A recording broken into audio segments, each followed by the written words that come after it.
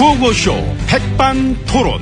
오늘은 막 강복절입니다. 그렇습니다. 광복절. 끊임없이 뭐 건국절 뭐 이걸 주장하는 세력도 있습니다만은 많죠. 어, 많죠, 많죠. 많더라고요. 건국절 주장은 헌법 위반이다. 아하. 헌법 위반입니다. 그거는 예. 나라의 녹을 먹는 사람들이 대놓고 그 헌법 위반을 일삼고 있다는 거. 음, 응? 그것도 참 처음만 어렵지.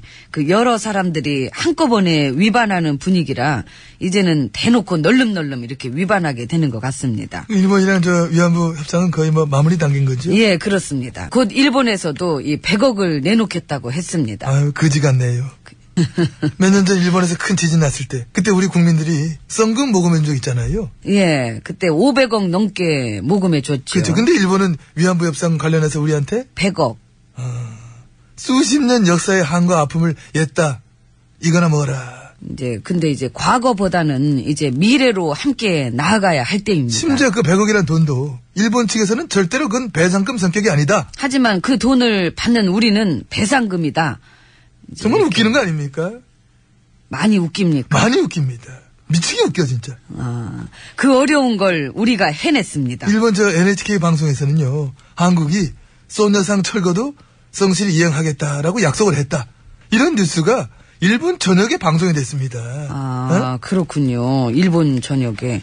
근데 우리는 올림픽 기간 중이라 그런지 이제 그런 뉴스를 볼 수가 없었습니다. 가해자인 저 전범 국가는 푼돈 맛 던져주면서 어? 이래라 저래라 당당하고 어? 예, 반면에 우리는 참 예, 겸손하고 너그러운 외교를 펼치고 있는 중입니다. 독일의 나치가 폴란드에 저질렀던 만행을 어? 싸가도 제대로 안 하고 꼴랑 저 100억으로 퉁치면서 이런 식으로 합의를 했다. 과연 어땠을까요?